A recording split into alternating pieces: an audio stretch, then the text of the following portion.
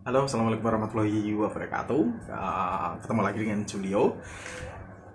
Ini konten yang sebenarnya sensitif, tetapi harus kita ungkapkan, harus uh, kita diskusikan sekarang. Karena apa? Bahwasanya kita harus bicara tentang training center dan training ground yang Persib tidak memiliki itu semua. Ya. Kita lihat beberapa tim mulai dari Madura, PSIS Semarang, kemudian Bali United sudah profesional banget. Persija Jakarta juga oke. Tetapi pertanyaannya adalah kenapa Persib kok belum punya?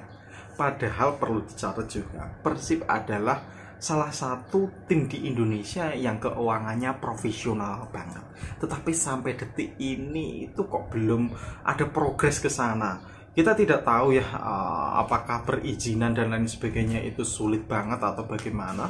Kalau menurut saya uh, training ground, training center itu sebenarnya sangat dibutuhkan Persib mengingat tim ini adalah bukan hanya tim yang level di Indonesia tetapi uh, nama dari Persib itu sudah mencakup Asia uh, mulai dari supporternya, followers dan lain sebagainya. Itu saya rasa perlu upgrade itu fasilitas itu itu harus diutamakan menurut saya seperti itu. Saya pernah memberikan konten bahwasanya uh, beberapa tahun ya dua atau tiga tahun yang lalu saya memberikan konten itu bahwasanya Persib itu akan ada planning ke situ. Tetapi sampai detik ini kok adem-adem aja. Hanya merekrut pemain pelatih yang hebat yang harganya mahal. Tetapi training ground uh, training center kita belum mempunyai. Inilah yang harus dipikirkan oleh manajemen uh, karena kita lihat tim-tim di Indonesia sudah sangat-sangat profesional. Madura iya. PSIS Semarang iya. Apalagi Bali United Persija Jakarta yang tetangga kita sudah mempunyai training uh, center. Uh, kita harus mempunyai itu Pak tadi saya harusnya seperti itu.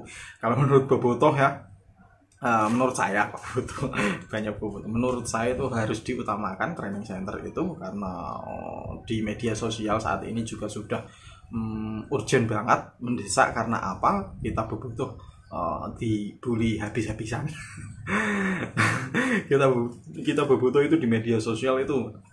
Uh, dibully karena tidak memiliki training center. Apalagi kemarin kita tidak lolos uh, verifikasi uh, lisensi uh, Liga Champions Asia itu disinyalir tidak mempunyai training center. Nah, padahal tidak itu apa uh, kronologinya bukan seperti itu. Tapi uh, apa pun alasannya Persib harus utamakan training center itu.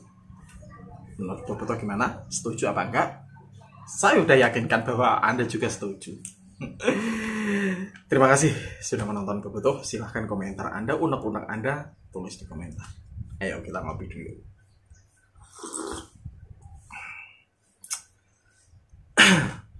kurang kental kopinya.